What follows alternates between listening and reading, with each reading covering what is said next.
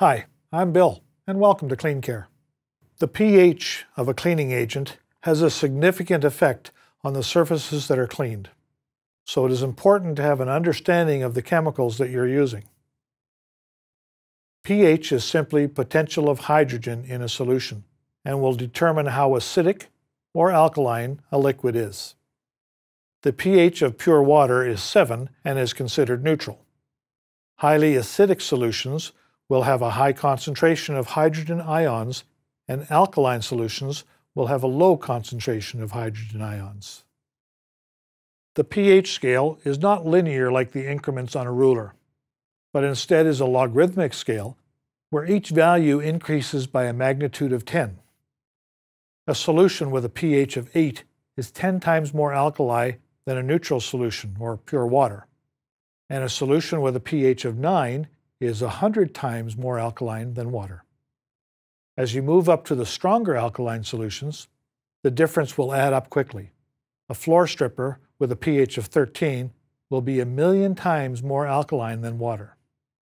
The same principles apply to acids as well. Mixing an acid and an alkali together can cancel out and neutralize the effects of the other.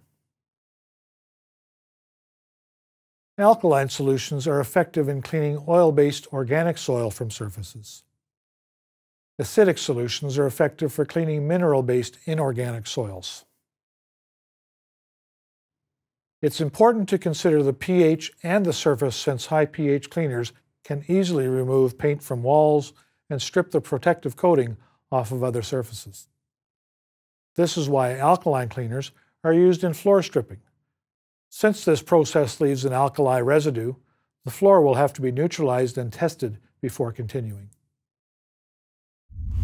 Although this technical information is not necessary to get the job done, we hope that this video has given you a good understanding of some of the chemistry and principles that make effective cleaning possible. If you found this video useful, hit like. To keep up to date with Clean Care, please subscribe, and for the widest selection of products, low prices, and same-day shipping, explore our website below. Thanks for watching.